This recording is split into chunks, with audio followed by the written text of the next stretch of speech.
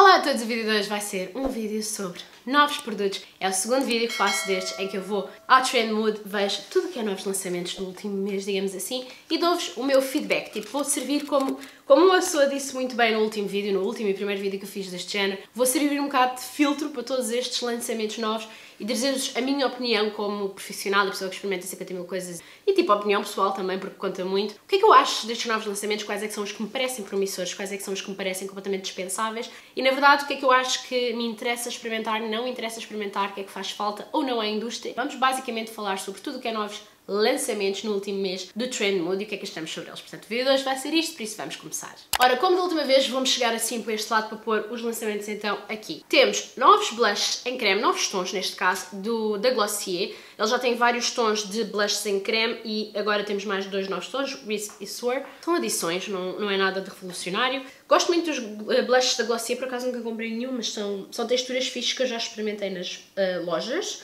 Temos novos blushes sem stick da marca Summer Fridays, que é uma marca que tem um bálsamo de lábios muito famoso e uma máscara de rosto. Acho que é Jet Lag Mask, acho que é assim o nome. Também muito famosa, mas olhem, eu nunca experimentei nada da marca Summer Fridays, mas acho fixe que as marcas tenham, obviamente, opções. Como é óbvio, blush em stick que dão para lábios e maçãs de rosto não é nada de novo. Tipo, todas as marcas ultimamente andam a lançar este tipo de produtos. Acho que os mais famosos são os da Nude Sticks. Eu pessoalmente gosto muito dos da Nude Sticks. Mas bem, acho bem que as marcas tenham... Obviamente as marcas têm que uh, adequar o seu range às range, range whatever que lhe quiserem chamar, às tendências do momento e ter opções para as pessoas, portanto acho que sim. Temos uma nova linha da marca Coco Eve, que é uma marca de cabelos que eu nunca experimentei nada também, mas estou farta de falar, se vocês cheguem a Andrea Ali, ela é uma maquilhadora francesa, não, ela não é francesa na verdade, ela é romena, mas ela vive em França e ela faz vídeos aqui para o YouTube e faz cenas para o Instagram também, eu adoro, eu comecei a segui-la há um ano, não foi há muito tempo. Ela fala muito desta marca Coco Eve e diz que é das marcas de cabelo que ela mais gosta e eu tenho muita curiosidade para experimentar, portanto, se vocês já experimentaram alguma coisa da marca Coco Eve, digam-me abaixo nos comentários porque sabem quando vocês querem iniciar-se numa marca, mas a marca já tem tanta coisa, vocês não sabem muito bem por onde começar, eu estou um bocado assim com a Coco Eve. Marca de cabelos supostamente muito boa e esta nova linha é uma linha de honey, portanto de mel, que diz que é revitalizante e irresistível, diz que tem manuka honey, probióticos, retinol, que ajudam com o brilho, o volume e um, a força do cabelo. Portanto, ajuda também a limpar e a ultra nutrir, portanto, ultra nourishing. Parece-me muito, muito bem. Tenho que experimentar sem dúvida esta marca. Os novos produtos da Charlotte Tilbury que eu estou mordinha para experimentar. Os novos Hairbrush Flawless Lip Blur. Já vai um bocadinho tarde, porque a tia Charlotte anda sempre em cima do acontecimento e os Blur Blotted Lips já estão em tendência, pelo menos há um ano e tal, dois, pelo menos na Coreia, eu tenho muitos produtos assim do género, mais para coreanos. Mas bem, packaging lindo, a Charlotte Tilbury como sempre, nails, tipo, são os melhores packaging, na minha opinião. Eu acho que há pessoas que acham que é um bocadinho too much. Para quem gosta de coisas minimalistas, pode ser um bocadinho too much. Para mim, são maravilhosos. Tudo que é rose gold e assim, tipo, não sei. A tia Charlotte, para mim, tem os melhores packagings. No entanto, eu devo dizer que as cores não me estão a chamar imenso. Isto basicamente é tipo um liquid lipstick que seca mate, mas fica com aquele efeito blur, não é tipo completamente pigmento intenso. É mais blur blotted lip, mais translúcido, digamos assim, que fica com um aspecto Faz também aquele aspecto tipo uh, alisamento do grão da pele, sabem? Tipo o alisador dos poros, no caso é tipo os lábios, faz tipo, parece que passaram um filtro nos lábios. Pronto, isto já está a tendência há bastante tempo. As únicas cores que me estão assim a chamar mais é o vermelho, porque eu vi o vermelho, uh, quem é agora a cara desta nova campanha dos Blotted Lips é os, a Bella Hadid, e o vermelho, o número 6, eu vou pôr aqui os swatches, que é o tom Flame Blur, parece-me lindíssimo e gosto muito dos nudes. Mas o resto, estava à espera tipo de uns mais acastanhados, de uns mais corais para o verão. Pronto, acho que faltam aqui alguns tons, mas bem, parece-me muito bem. Temos o novo concealer da Smashbox, que é o Halo Healthy Glow 4 em 1 Perfect Pen. Que eu estou um bocado confusa, porque eu achei que a Smashbox tinha desaparecido. Estou um bocado confusa. Desapareceu, não desapareceu, está só disponível em alguns sítios, é estranho. Esta caneta, no entanto, diz que dá cobertura e hidratação de 24 horas, com luminosidade, em que cobre, portanto tapa a vossa olheira ou a vossa imperfeição, whatever, ilumina e também faz contouring, portanto vocês podem utilizar, mas todos os concealers podem ser utilizados para isto, mas bem, é marketing, não é? Eles têm que pôr 4 em 1, portanto, para corrigir, para iluminar, para fazer contouring e para corrigir. Na verdade é um concealer como todos os outros. Diz que a textura é mais ligeira, não faz uh, crease, não fica cakey, portanto não fica pesada e não se fixa nas nossas linhas mais carregadas, digamos assim. E diz também que é à prova de água e à prova de resistência. E os ingredientes chá vão ser ácido hialurónico, vitamina E, chá verde e ginseng. Vegan e cruelty free, 26 tons. Parece-me bem em termos de tons. Mas bem, é um concealer, parece-me um concealer como todos os outros, só que eles logo. Óbvio que estão a fazer advertisement para vocês escolherem tipo um tom mais escuro para fazer contouring, um tom mais claro para fazer de iluminador, mas bem, vocês podem usar qualquer concealer para isso. Nada de novo. Color Correcting Eye Brighteners da Elf Cosmetics que são em pote e parecem muito parecidos ao NARS. Uh, eu acho que isto vai ser dupe. A Elf, a Elf ultimamente anda, ultimamente digo nos últimos dois anos, anda a especializar-se em fazer dupes de todas as outras marcas e mais algumas.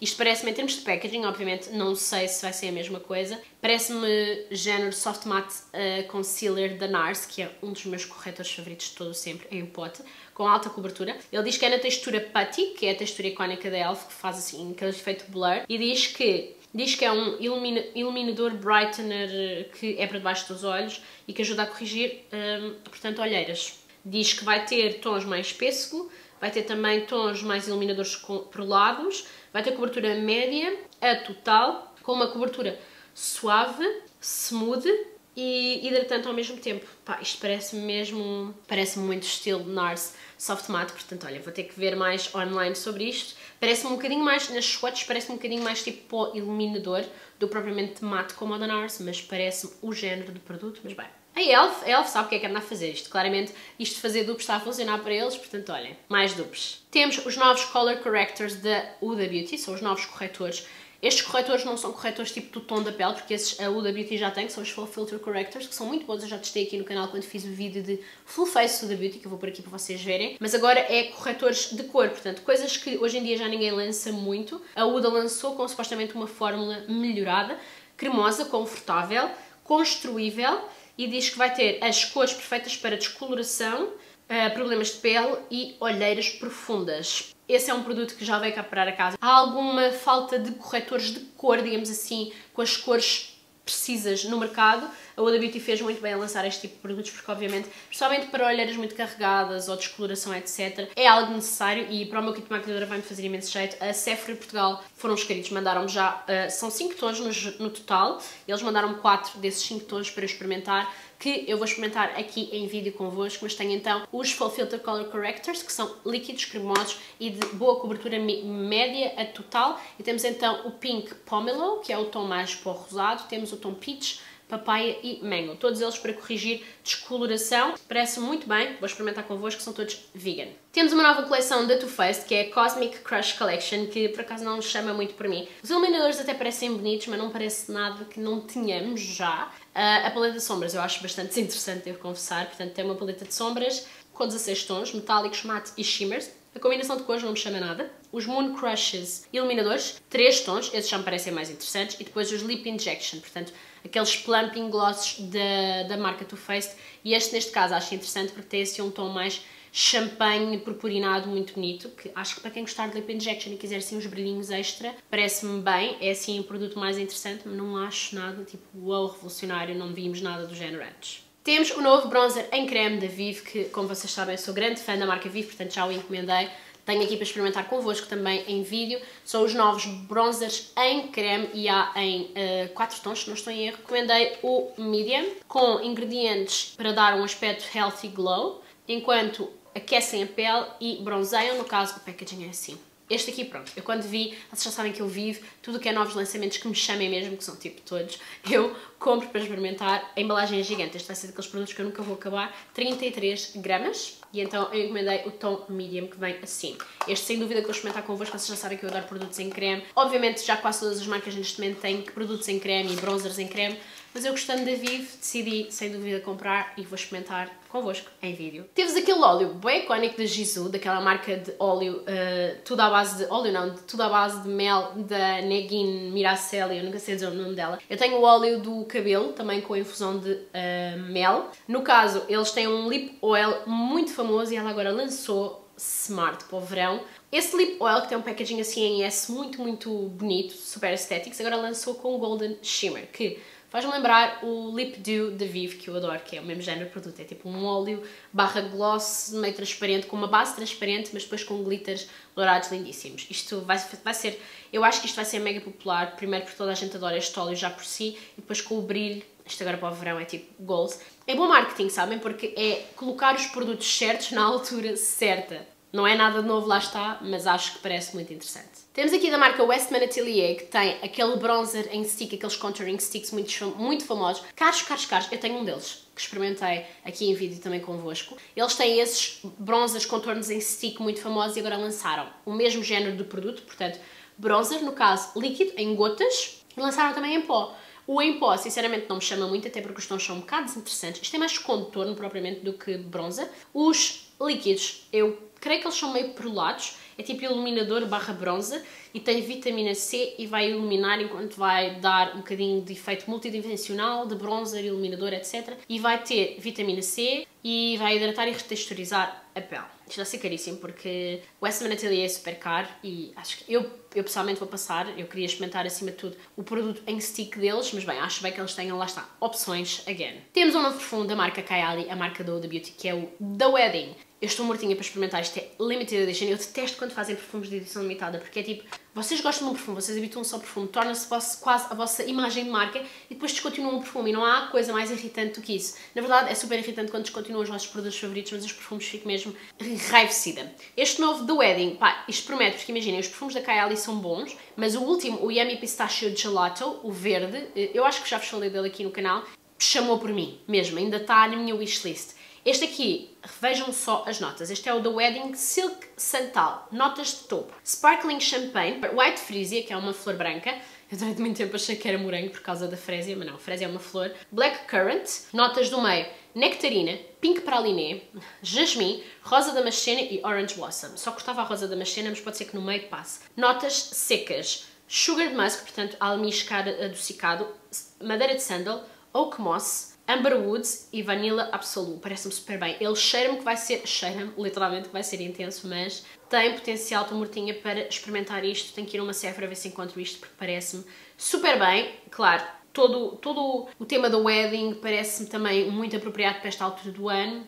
Lá está, marketing bem feito, mas bem. É chato ser edição limitada, mas pronto, anyways. Novos produtos da marca Rare Beauty, a marca da Selena Gomez, que vocês, como sabem, eu adoro. Já fiz um vídeo de Full Face Rare Beauty, vou por aqui, para quem quiser ver o meu top de produtos favoritos e não favoritos. Eles agora, os novos produtos são, eh, já é a coleção de outono e inverno, produtos de olhos. No caso, vai ser o Precision Brow, Precision, não, Precision Brow Harmony Pencil, portanto, lápis de sobrancelhas com precisão, vão ser daqueles fininhos, que de um lado vão ter um escovilhão e do outro lado vão ser retráteis, não são tipo bicudinhos, são mais angulares, mas não são gigantes, que eu acho, acho piada. E depois vamos ter o Weightless Eyeshadow Stick, portanto sombras em stick barra creme, e vamos ter também alguns tons, soft pink, champagne, rose top, copper, burgundy e bronze. Vamos também ter eyeliners em gel, portanto lápis mais cremosos mais em gel, e vamos também ter o tom True Black, True Brown e Compassion Burgundy. Parece... Ah, ainda temos o Fresh and Dewy Lip and Cheek Duos, que é um produto, deixem-me perceber aqui. Ah, ok, é um kit em que traz um produto de rosto, portanto o Lip Balm barra gloss, e vai trazer também o blush em creme, mas em tamanho mais pequenino. Ok, isto não é produto novo, é só tipo um kit específico para esta altura nova do ano.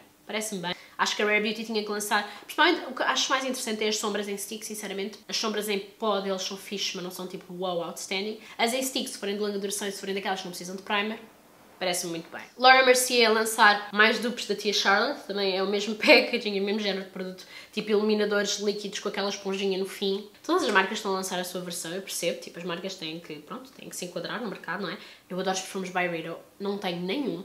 Eu adoro o Mojave Ghost, adoro Bibliotech, é o que eu mais gosto. Adoro Mixed, uh, mixed Emotions ou Mixed Feelings, eu acho que é Mixed Emotions. Há vários perfumes da Byredo que eu adoro. Uh, acho que cá em Portugal só se consegue comprar na Skin Life, que é uma loja na Avenida da Liberdade, ou no próprio site, eu acho que eles também têm o site que entregam em Portugal. Anyways, novo perfume, fisicamente é difícil de encontrar. Rouge, Rouge Chaotic. Isto não me parece o meu género, porque rouge, eu quando vejo assim rouge, vejo vermelho, penso sempre tipo, ah, vai ter muita rosa. Então, notas de topo. Bergamota, limão, açafrão e cassis. Não é o meu género, já, já consigo perceber, no entanto, às vezes estou surpreendida. Notas do meio, decoração, plum, portanto tipo ameixa, praliné e oak wood, vai ser mais amadeirado também, e a base é papiros e patch woods. Isto vai ser intenso, amadeirado provavelmente não vai ser o meu género, vou experimentar eventualmente. Eh, para quem gosta de perfumes intensos, até a cor dele, sabem que vocês conseguem perceber muita intensidade dos perfumes também pela cor. Normalmente quando são assim mais claros, mais transparentes, mais clarinhos, mais amarelados, são tipo mais frescos, mais suaves. e depois quando já são tipo mais escuros, mais laranjas, mais assim vermelhos, eh, escuros, já são tipo normalmente mais intensos, tipo madeirados, whatever. Que não é o meu género, mas acho que a Byredo tem é que ter escolhas porque é uma marca mega conceituada. Agora estava aqui a editar e eu percebi-me que algumas das notas deste Rouge Chaotic são parecidas ao Baccarat Rouge. Eu pergunto-me como o Baccarat Rouge é muito famoso e muito difícil e muito caro e tudo. Não é que a Byredo seja barata, mas será que isto não poderá ser um bocado do género? Tomem a nossa versão de Baccarat Rouge, porque também é assim vermelho e também tem açafrão também tem assim um boi amadeirado. Pergunto-me, isto é tipo apenas a minha opinião, ok? Não vão dizer que eu estou a dizer que alguém está a imitar ninguém, mas pondero. A marca Florence by Mills tem blush sem stick, mais uma marca com blush sem stick. Eu não experimentei nada da marca Florence by Mills e não tenho muita curiosidade, sinceramente, porque acho que... Não sei, é daquelas marcas que eu não, não me chama, acho que não tem muito know-how por trás. Não sei, das coisas que eu vi da marca online, posso estar tipo, ter terem feito um brainwash, mas não me parece ter muito know-how por trás. Acho que é mais aquelas marcas que lançaram um bocado para. Isto pode ser bem controverso dizer isto, mas não me parece que a Florence by Mills, a marca. Eu adoro Millie Bobby Brown, adoro Stranger Things, mas a marca por acaso não, não, me, não me atrai muito. Kylie Cosmetics lançou uma paleta de neutros, mate neutros, que me parece super bem. Acho que para quem não tem neutros isto vai, vai ser maravilhoso e acho que até para um kit de maquilhadora estupendo porque tem preto, tem branco mate e depois tem todos os castanhos mais quentes e mais neutros frios intermédios necessários. Acho que, lá está, estes tons, principalmente agora para esta altura, do, na verdade isto não é a altura do fim do ano, mas para o fim do ano vai ser muito apropriado e acho que há muitas marcas a lançarem este tipo de paletas outra vez porque acho que faz sentido e há muita falta no mercado de paletas só de mates. Eu tenho uma paleta só de mates, acho que só tenho uma que é a Tartelette da Tarte, que já não se faz. Foi a primeira paleta assim de mates que eu vi na altura e eu uso-a constantemente no meu kit, ainda hoje estive a maquilhar noivas noivas, na verdade foi uma noiva convidadas e eu levo sempre. Paletas neutros é sempre bom, não digo para fazer um look inteiro, porque obviamente se quisermos um look um bocadinho com mais um pop de glitter ou metálico, etc, precisamos de outras coisas, mas para transições, intensificar ou pôr o look mais claro, epá, é necessário. Portanto, olha, acho que, uh, acho que é um bom lançamento, sinceramente, por muito que já tínhamos várias opções assim, o Makeup by Mary também tem uma, uma paleta assim deste género, mas acho que é, é um bom lançamento, sinceramente. A Makeup Forever tem outra vez um concealer Ultra HD, já é pá, o terceiro concealer da linha Ultra HD que eles lançam. Eu tive o primeiro que era assim em, em tubo, tipo uma besnaga toda preta, e gostei, mas não foi incrível. Depois experimentei o seguinte, que foi tipo a reformulação, que tinha um packaging assim mais parecido a este, e também tipo gostei, mas não foi incrível. E agora voltaram, eu não sei se eles voltam a relançar ou se é. pá, não percebo muito bem, mas é sempre, é sempre Ultra HD ou HD Concealer.